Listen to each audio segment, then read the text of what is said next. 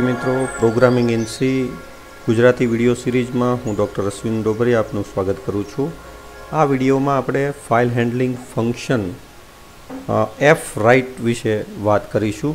આ પહેલાં આપણે ત્રણ અલગ અલગ ટાઈપના ફંક્શન્સ ફાઇલ હેન્ડલિંગના લીધા હતા. F get C F scan F અને ત્યાર પછી આપણે એફ ગેટેસ હવે આ ચોથું ફંક્શન છે જેનો ઉપયોગ આપણે ફાઇલમાં ડેટા રાઇટ કરવો હોય તો કઈ રીતે કરી શકીએ પણ અહીંયા એફ રાઇટ ફંક્શન છે, એ થોડુંક અલગ ફંક્શન છે, બીજા આગળના ફંક્શન કરતાં. કારણ કે એફ રાઇટ ફંક્શનથી આપણે જે ડેટા રાઇટ કરીએ છીએ, એ બ્લોકમાં રાઇટ કરીએ છીએ અને બાઇનરી મોડમાં રાઇટ કરીએ છીએ. તો ચાલો એફ રાઇટ ફંક્શનથી આપણે બાઇનરી ફાઇલ કઈ રીતે ક્રિએટ કરી શકીએ, તેના વિશે આપણે આ વિડીયોની અંદર એક્ઝામ્પલથી સમજીએ.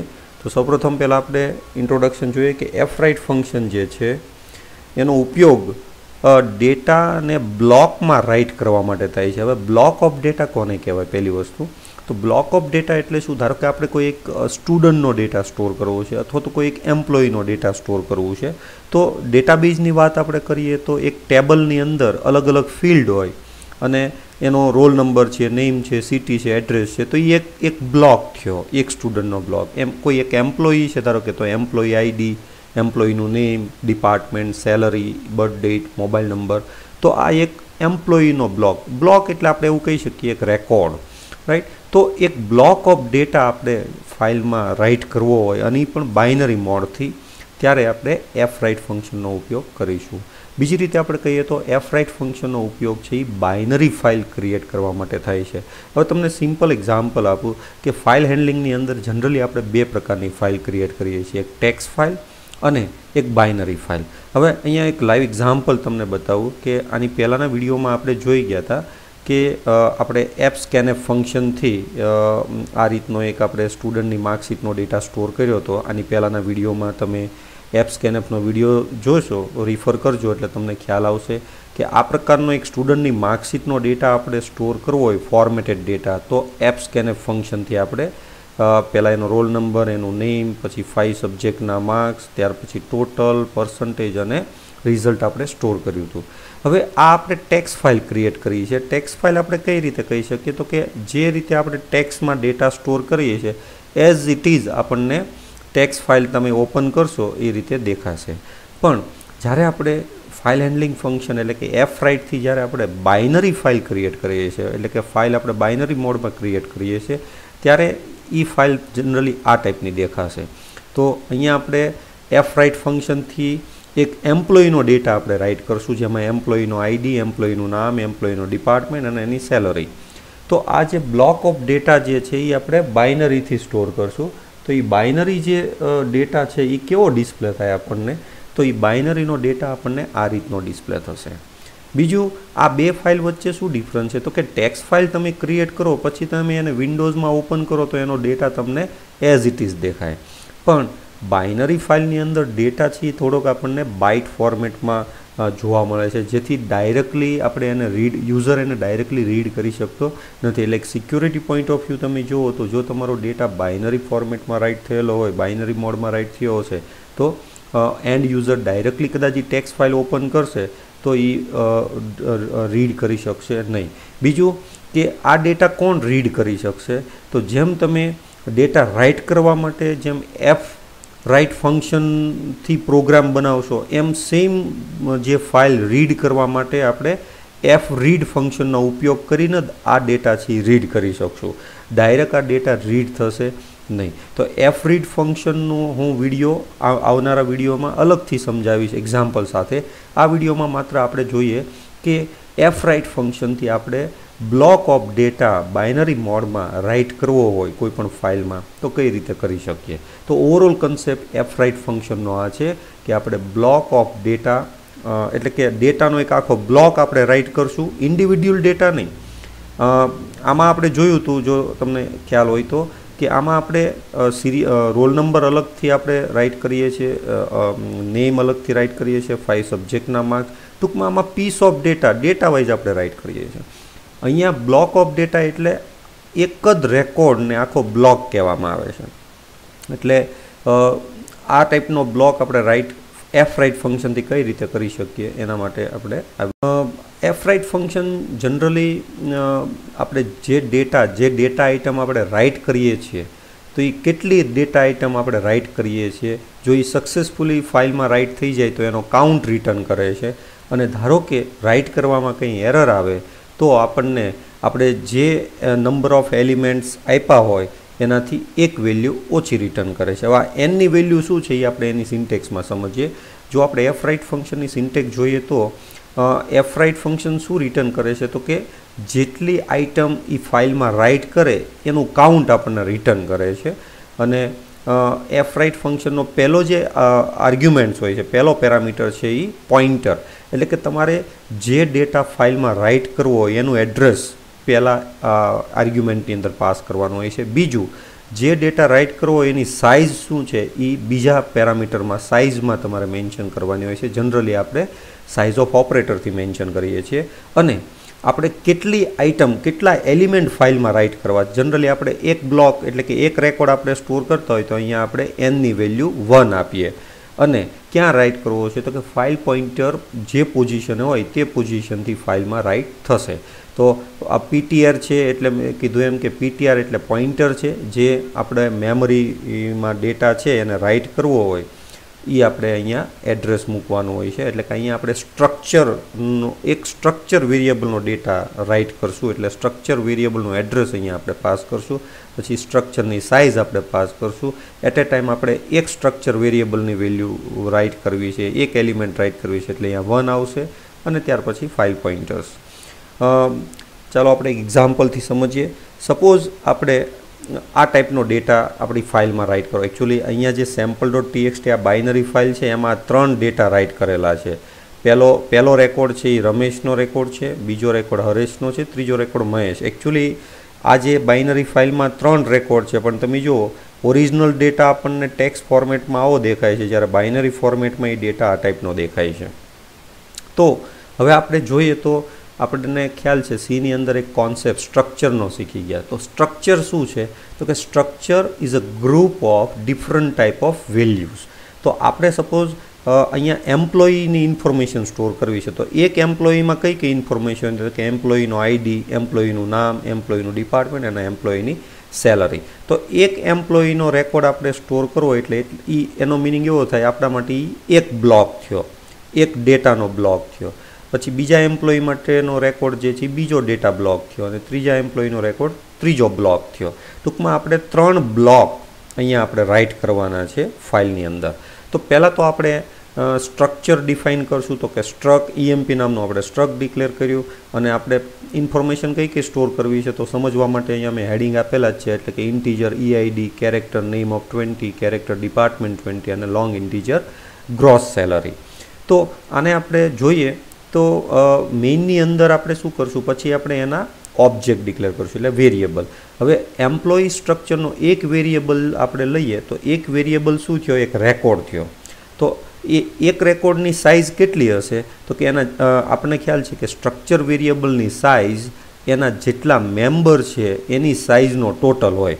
તો એમ્પ્લોયી આઈડી ઇન્ટીજર છે, એટલે two bytes name character array declare twenty કર્યો છે, એટલે ટ્વેન્ટી બાઇટ્સ અગેન ડિપાર્ટમેન્ટ છે કેરેક્ટર અરે ટ્વેન્ટી છે, એટલે ટ્વેન્ટી બાઇટ્સ અને લોંગ ઇન્ટીજર છે એ ફોર બાઇટ ઓક્યુપાય કરે. અને આનો આપણે ટોટલ કરીએ તો ટોટલ ફોર્ટી સિક્સ બાઇટ એનો મિનિંગ એમ કે એક એમ્પ્લોયીનો રેકોર્ડ એક એમ્પ્લોયીનો બ્લોક આપણે મેં અહીંયા ફાઇલમાં રાઇટ કરવો હોય, તો ઇનડાયરેક્ટલી આપણે ફોર્ટી સિક્સ બાઇટ આપણે રાઇટ કરવાનો. એટલે ડેટા આપણે forty six byte forty six byte forty six બાઇટના data આપણે બ્લોક રાઇટ કરવાના છે. રાઈટ તો આપણે કઈ રીતે રાઇટ કરી શકીએ? તો આ સિમ્પલ આપણે ટેક્સ ફાઇલમાં ડેટા આપણને આ રીતે રાઇટ થાય. પણ એકચ્યુઅલી બાઇનરી ફાઇલમાં આ સેમ ડેટા આપણને આ ફોર્મેટમાં દેખાય છે. તો ચાલો આપણે જોઈએ કે આ ડેટા કઈ રીતે રાઇટ થશે.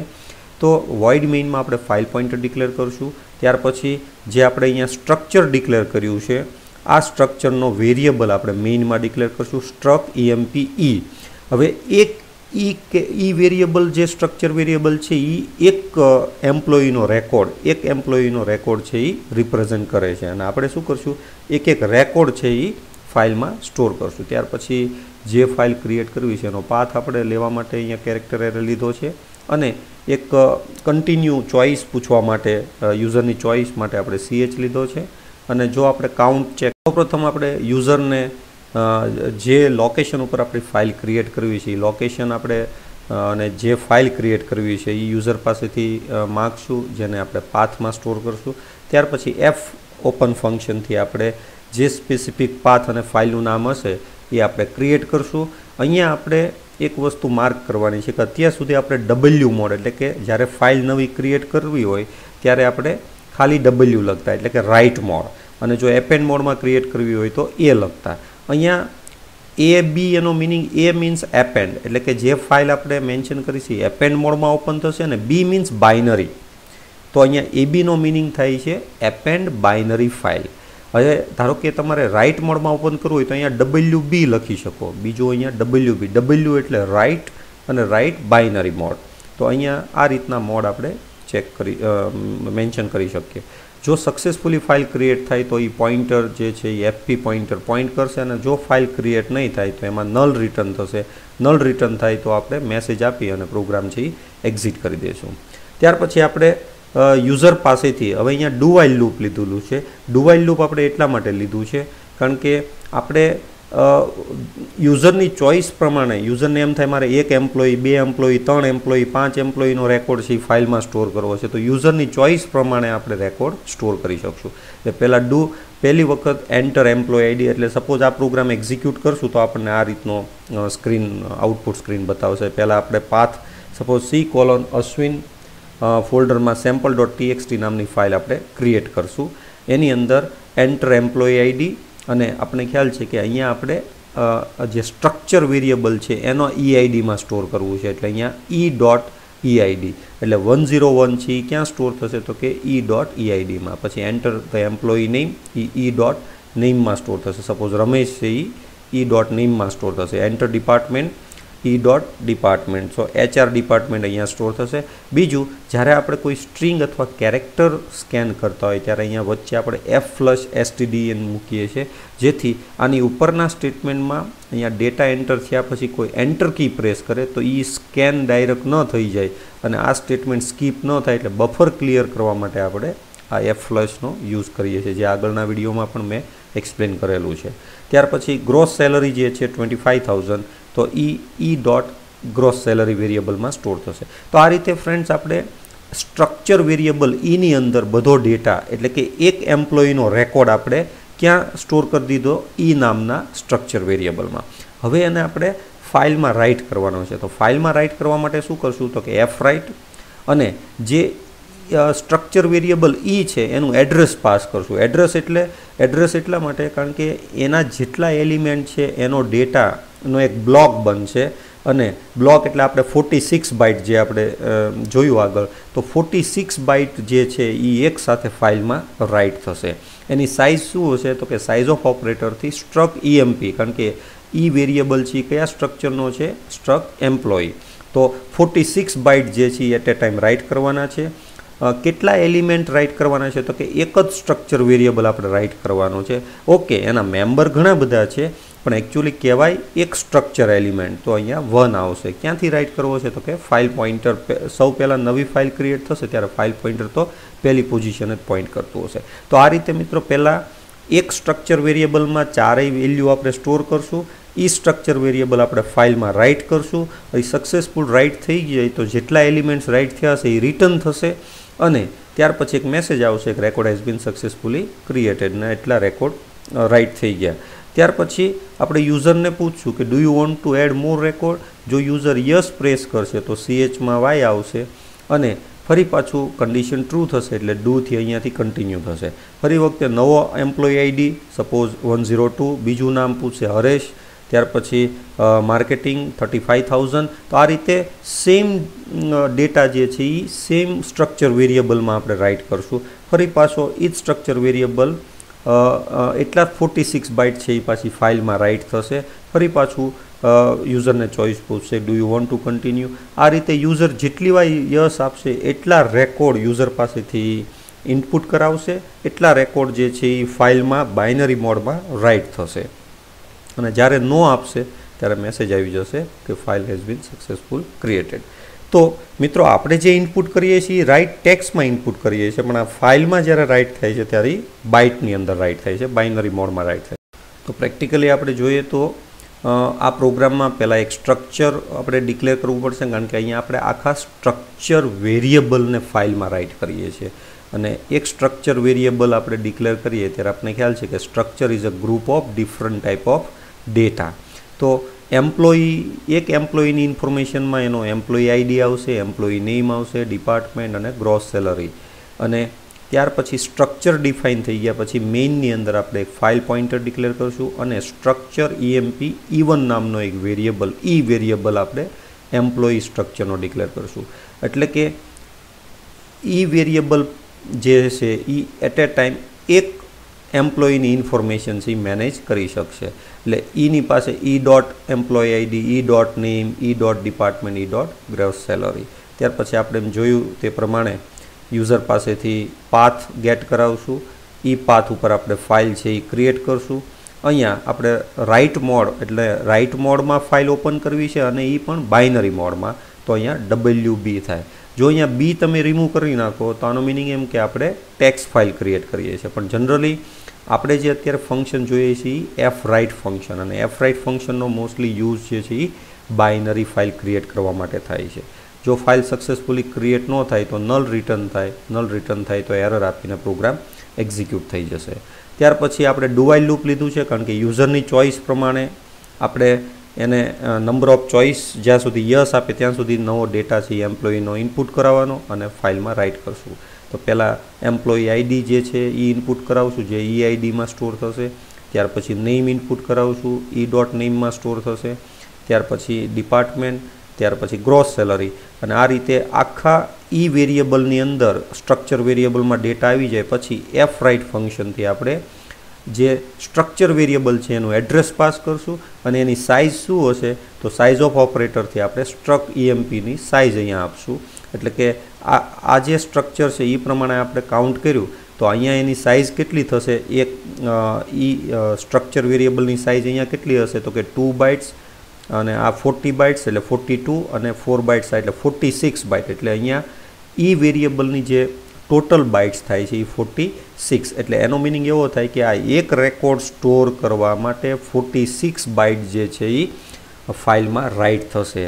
અને કેટલા એલિમેન્ટ આપણે રાઇટ કરીએ છીએ? તો કે એક રેકોર્ડ આપણે રાઇટ કરીએ છીએ. કઈ જગ્યાએ? તો કે ફાઇલ પોઈન્ટરમાં અને ત્યાર પછી મેસેજ આવશે record has been successfully write how many record total one અને પછી મેસેજ આવશે do you want to continue yes or no Y press કરશો સીએચમાં આવશે. પાછું વાઇલમાં કન્ડિશન ટ્રુ થશે, આ સેમ પ્રોસેસ રિપીટ થશે, ક્યાં સુધી રિપીટ થશે? તો કે જ્યાં સુધી આપણે યસ આપશું. સપોઝ આપણે રન કરીએ પ્રોગ્રામ સેમ પાથ હું આપું છું સી કોલોન અશ્વિનની અંદર સેમ્પલ ડોટ ટીએક્સટી નામની ફાઇલ આપણે ક્રિએટ કરવી છે.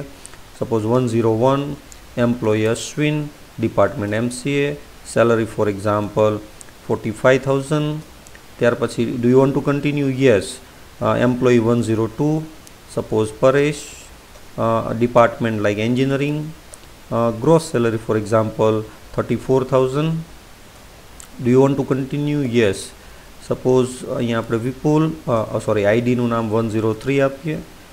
Employ name for example Haresh enter department for example BCA અને gross salary for example twenty five thousand હવે સપોઝ ત્રણ રેકોર્ડ આપણે અત્યારે ફાઇલમાં રાઇટ કર્યા. હવે હું નો આપું છું એન અને જેવું આપણે બહાર આવશું એટલે આ રીતે ત્રણ રેકોર્ડ આપણે ફાઇલમાં રાઇટ કર્યા. પણ કેવા મોડમાં રાઇટ કર્યા? બાઇનરી મોડમાં. તો હવે આપણે એને સપોઝ એક્સપ્લોરરમાંથી જોઈએ કે એ ફાઇલ કઈ રીતે રાઇટ થઈ છે. તો તમે અહીંયા સેમ્પલ આપણે સી કોલન અશ્વિન ફોલ્ડરમાં સેમ્પલ ડોટ ટીએક્સટીમાં જોઈએ.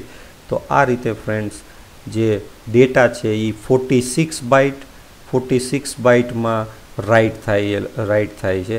પણ આપણને ડેટા પ્રોપરલી દેખાતો નથી. પણ આ ડેટા પ્રોપરલી રીડ કરવા માટે આપણે એફ રીડ ફંક્શનનો ઉપયોગ કરવો પડે છે, જે આ જેનું ડિટેલમાં એક્સપ્લેનેશન હું આવનારા વીડિયો અલગથી એફ રીડ ફંક્શનનો હું બનાવીશ.